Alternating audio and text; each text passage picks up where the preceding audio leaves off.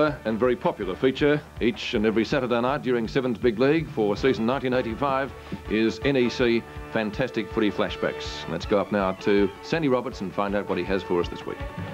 Thank you, Peter, and welcome once again to NEC's Fantastic Footy Flashbacks. This year we go back to a year that is considered by St Kilda supporters the greatest ever. Of course, it can only be one, 1966.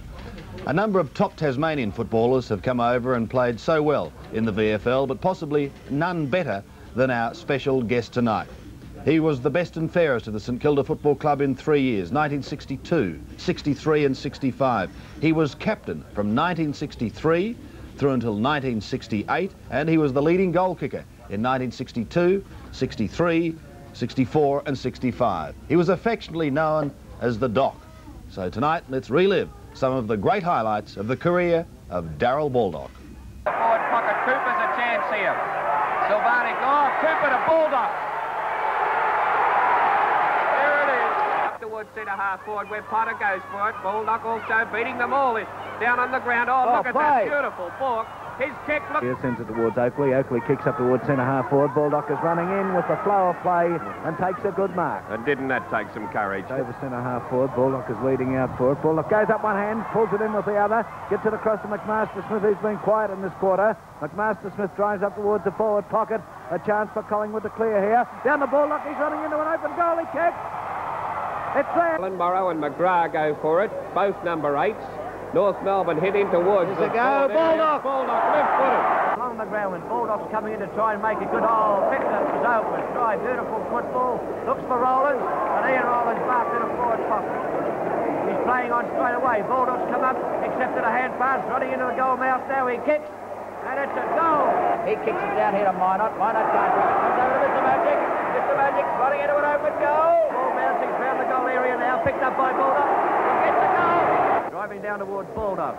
Out flies Matthews. Couldn't hold it. Baldock picks up, trying to break out of the pack. He's clear now into a left foot. He steps for goal. Another one.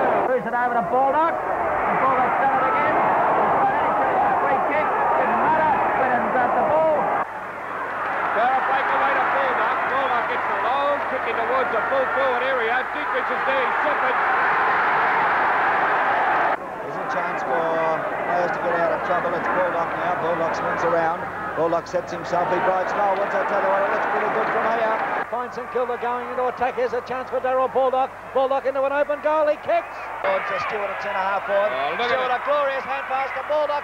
Baldock into an open goal. Good football. Hit down, but it's smothered away. Seems to be all Richmond down on the ground. Mackenzie in there. Baldock gets it, turns onto the right foot, shoots it goal.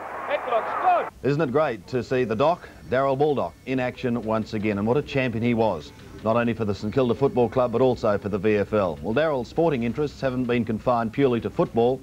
He's now over in Tasmania, a successful horse owner and breeder. And who knows, if that success follows on, we may well see him back here in Melbourne come the first Tuesday in 1 November in the not too distant future. We'll have more great highlights of days gone by next week in NEC's fantastic footy flashbacks.